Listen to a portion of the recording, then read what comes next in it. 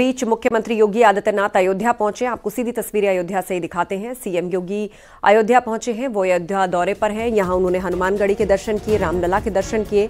और अब वो फ़िलहाल आप देख रहे हैं कि मंदिर प्रांगण से बाहर की ओर निकल रहे हैं। मुख्यमंत्री योगी आदित्यनाथ आज अयोध्या में हैं।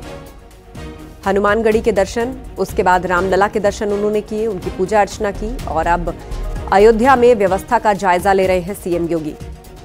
तमाम अधिकारी उनके साथ मौजूद हैं। और नवनिर्मित राम मंदिर में लोगों को दर्शन हो, एक व्यवस्था के तहत सुलभ दर्शन करवाए जाएँ, इसकी व्यवस्था सुनिश्चित की जा रही है। कोई दिक्कत लोगों को ना आए, सबको दर्शन हो। किस व्यवस्था के तहत हो, उस पर खुद नज़र रख रहे हैं सीएम योगी। तो रामलला के दर्शन के बाद अब निरीक्षण कर रहे हैं। दो तस्वीरें आपके सामने, अब से थोड़ी देर पहले मुख्यमंत्री योगी आदित्यनाथ ने रामलला के दर्शन किए, पूजन अर्चन किया और उसके बाद अब सीएम योगी निरीक्षण कर रहे हैं। और आम लोग वहाँ पर लाइन लगाकर रोज की ही तरह दर्शन के अभिलाषी रामलला के बारी बारी से सभी को दर्शन कराया जा रहा है और ये दर्शन सुलभता और सुरक्षित तरीके से हो, ये सुनिश्चित कर रही है यूपी सरकार। और उसी व्यवस्था का निरीक्षण और यहाँ के विकास कार्यों का जायजा लेने के लिए सीएम योगी एक बार फिर से अयोध्या में हैं। दो तस्वीरें आप देख रहे हैं। हनुमानगढ़ी में उन्होंने पूजा अर्चना की, उसके बाद रामलला के दर्शन किए और उसके बाद फिर अव्यवस्थाओं का, विकास कार्यों का जायजा ले रहे हैं मुख्यमंत्री योगी आदित्यनाथ। आपसे थोड़ी देर पहले की तस्वीरें हैं, जहाँ हनुमानगढ़ी दर्शन के लिए पहुँचे, उसके बाद रामलला के दर्शन किए और अब वहाँ की व्यवस्था का जायजा मुख्यमंत्री योगी आदित्यनाथ ले रहे हैं। निमिष गोस्वामी हमारे साथ फ़ोन लाइन पर जुड़ गए हैं। निमिष, मुख्यमंत्री अयोध्या में हैं। आज क्या खास कार्यक्रम? देखिए, मुख्यमंत्री का सबसे पहला चिर परिचित इंद्राज अयोध्या पहुँचने के बाद हनुमानगढ़ी पर दर्शन पूजा, रामलला के दरबार में हाजिरी और उनकी आरती के पश्चात ही कोई काम शुरू करते हैं। जैसा वैसा ही कुछ आज भी शुरू किया उन्होंने। और अब क्योंकि राज्यवार अतिथियों को अयोध्या आना और ये क्रम मार्च, चार मार्च तक लगातार चलेगा। इस दरमियान कई प्रदेशों के मुख्यमंत्री अपनी कैबिनेट के साथ भगवान रामलला का आशीर्वाद लेंगे और ये क्रम इकतीस जनवरी से शुरू होने जा रहा है। इसके साथ ही योगी कैबिनेट खुद अयोध्या में एक फरवरी को रहेगी।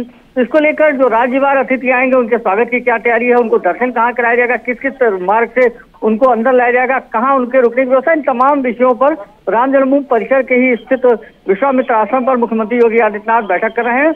और आज की ये बैठक इस लिहाज से भी बहुत अहम है, क्योंकि पिछले छह दिन में लगभग पंद्रह लाख लोगों ने रामलला के दर्शन किए। एक अपार जन सैलाब अयोध्या पहुँचा तो ऐसे में यात्रियों को कितनी बेहतर सुविधा दी जा सके सुरक्षित ढंग से, सुविधाजनक ढंग से रामलला के दर्शन के श्रद्धालु आए और उनको वापस भेजा जाए। इस पर भी आज चर्चा होगी, जिसमें राम मंदिर ट्रस्ट के सभी पदाधिकारी मौके पर मौजूद हैं। इसके अलावा ज़िले के वरिष्ठ अधिकारी यहाँ पर मौजूद हैं। सुरक्षा के, से संबंधित सभी पुलिस के दस्ते के वरिष्ठ यहाँ मौजूद है। और ये माना जा रहा है कि अब क्योंकि आज से ही ये क्रम लगातार स्टार्ट हो जाएगा, वीवीआईपी और वीआईपी के आने के भी दौर शुरू होने जा रहा है। तो ऐसे में जो वीआईपी और वीवीआईपी आएँगे, उनको दर्शन कैसे कराना है, किस तरीके की सुविधाएँ उनको उपलब्ध होगी, सुरक्षित ढंग से श्रद्धालुओं को भी कम से कम असुविधा हो, उनको भी दर्शन मिलता रहे, इन तमाम विषयों को लेकर बैठक की जा रही है।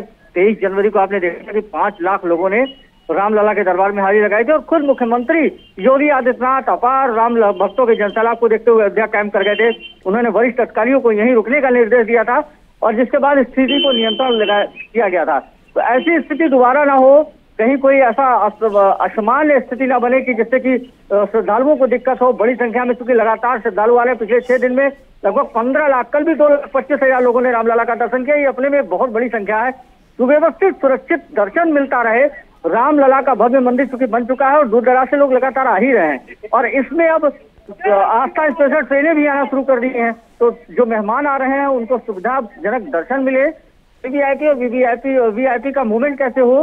राज्यवार जो अधिक मुख्यमंत्री और उनकी कैबिनेट दर्शन करने आ रही है, उनको कैसे कराया जाएगा?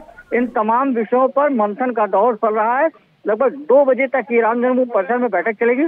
और इसमें इस बात को प्रमुखता से रखा जाएगा कि वीआईपी वीवीआईपी मूवमेंट के साथ साथ राम भक्तों को भी सुविधा पूर्ण ढंग से दर्शन मिले, सुरक्षित ढंग से रामलला के आशीर्वाद को आने वाले दूर दराज से राम भक्त उनका दर्शन कर सकें, ये प्राथमिकता रहेगी, जी।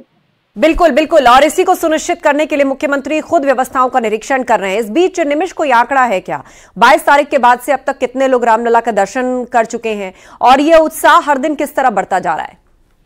देखिए भगवान भव्य मंदिर में विराजमान हुए 500 वर्षों के बाद रामलला अपने जन्मस्थान पर बनाए गए मंदिर में आए तो देश और दुनिया के राम भक्त अब अयोध्या के तरफ़ रुख करते चुके शायद यही वजह थी कि तेईस जनवरी यानी कि जिस दिन प्राण प्रतिष्ठा के अगले दिन, लगभग पाँच लाख लोगों ने रामलला का आशीर्वाद लिया।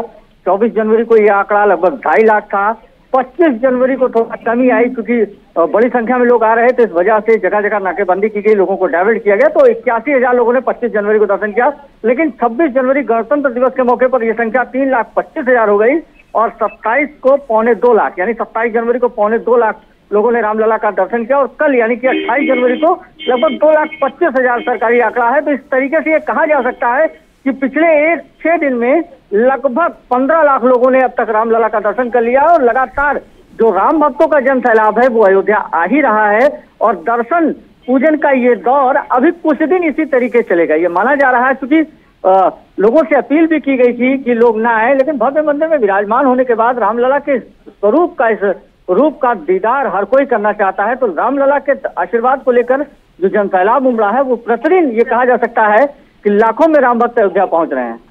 बिल्कुल, लाखों की संख्या में रोज़ाना राम भक्त अयोध्या पहुँच रहे हैं, उन सभी को दर्शन हो। कोई खास समय या रोस्टर भी जारी किया गया है निमिष इसके लिए, या ये हर दिन लोगों की संख्या के हिसाब से बदलता है कि कब कब पट खुले रहेंगे, दर्शन होंगे और कब बंद होंगे?